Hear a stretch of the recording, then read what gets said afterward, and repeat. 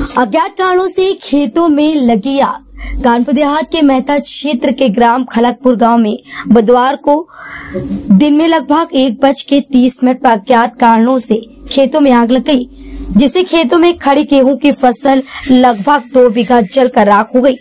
खेतों में खड़ी गेहूँ की फ़सल में लगी आग को जब तक फायर ब्रिगेड के कर्मचारी बुझाते, तब तक दो बीघा जलकर स्वाहा हो चुकी थी।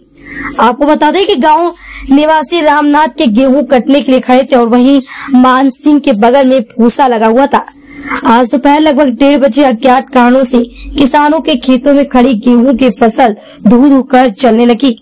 जब किसानों ने देखा कि उनके खेत में गेहूँ की खड़ी फ़सल व बगल में भरा भूसा जल रहा है तो उन्होंने शोर मचाना चालू किया और देखते ही देखते सैकड़ों किसान बाल्टियों में पानी देकर जल रही फ़सल पर व बगल में पर डालने लगे।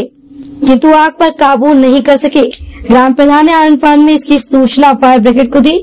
मौके पर पहुँची फायर ब्रिगेड और ग्रामीणों की कड़ी मशक्कत के बाद किसी तरह आग पर काबू पाया गया। नहीं तो सैकड़ों बीघे गेहूँ की फ़सल, खड़ी फ़सल जलकर राख हो जाती।